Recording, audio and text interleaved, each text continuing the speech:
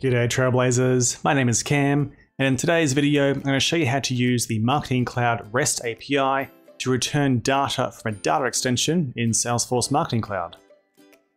So it's a common use case in Marketing Cloud to have to export your data onto a third-party system. And normally you could do this using a data extract activity in Automation Studio and transfer your data onto an FTP or S3 bucket. However, if you're trying to work with more real-time data, your only option is to use an API. At the moment, there is only a SOAP API endpoint, and unfortunately, SOAP envelopes can be difficult to work with, which is not ideal for some developers. However, that doesn't mean there isn't a REST API that exists. There is such an API, however it is undocumented.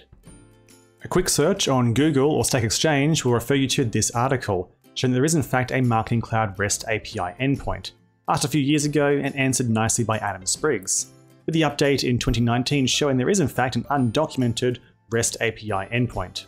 So for today, I'll show you how this one works.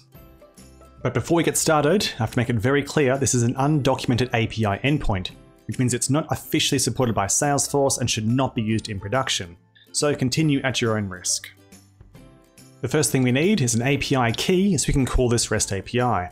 I've jumped into my setup screen and under my platform tools and apps, I'm going to choose my install packages. I'm going to create a new package. This one I'll call my REST DE get. And my REST DE get is going to be a simple server-to-server -server integration. So my next screen, I'm going to choose to create a new component, choosing the server-to-server -server integration.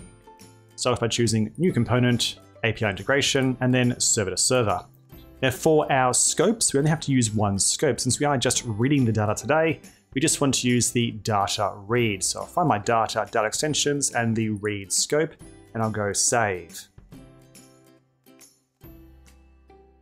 And with the API created, I now have my credentials that I need to make this REST API endpoint work. So let's now jump into Postman and enter in all the information that we need to try this API out for ourselves. So over in Postman, I've made myself a brand new API request using the get method for this endpoint. Let's now transpose across the information for this API. So back on Stack Exchange, we can see the API endpoint provided by Adam Sprigg in the documentation here. So I'll choose my data, custom objects, key, and I filter here. I'll copy the whole thing all the way up to the text quotation marks, copying it and jumping back into Postman and pasting it into my URL. Now I do need my REST API endpoint, so I'll jump back into my setup screen and copy my REST base URI, copying that value and pasting it back into my Postman at the very front, making sure there's just one of these slashes, just like that. Now for this to work, I do need my external key for a data extension. So I've gone ahead and made a data extension earlier. I'm going to use my 100 records to delete. I'll link the video for this one in the description below. I need to get the external key for this data extension. So I'll click into the properties and I'm going to choose to copy that external key just like that. And I'll use that key in my Postman call. So custom object, your external key, and paste. Now the filter here allows us to filter what records to return. If we remove that filter, it will return all records. But for now, let's try and return some records. If I jump into my data set with my 100 records here, I can see there's a few records that have the active flag equal to zero. So let's try it out by filtering on active flag equals zero. I'll choose the field name of active, jumping back into my postman, and saying where active space equals space and a value. Now it's not going to be a text value, it's a numeric value, so I'll remove those quotation marks and put the character zero. Just like that, my API call is ready to make, so I'll go send.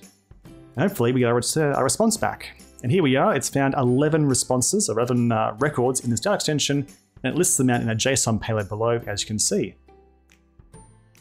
Now, if using Postman's not your thing, I've also gone ahead and made an example using some SSJS code in Marketing Cloud. For my content block, which links into a cloud page, my SSJS test, I can jump in and paste some pre-made code I've done, and I'll step you through how it works. So let's have a quick zoom in, and we'll step through the code. Now, our code's going to read, it's going to use our configuration of our REST auth API endpoint with our credentials we just set up for our new API, it's going to make a token call to return our REST token and our REST URL, as you can see here. With our two access points here, our token and our REST URL, it's then going to make a call to our brand new custom object data using the external key we just pulled from our data extension and the same filter where active is equal to zero.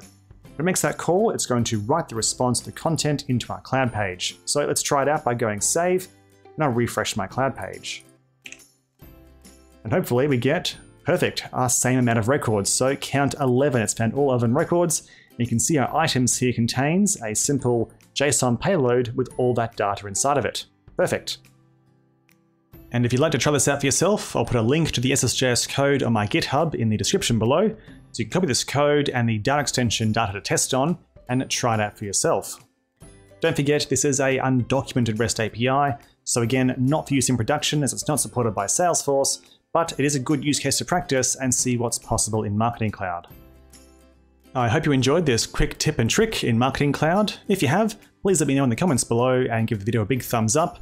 And don't forget to subscribe to the channel so that you are notified when I release more Salesforce Marketing Cloud videos.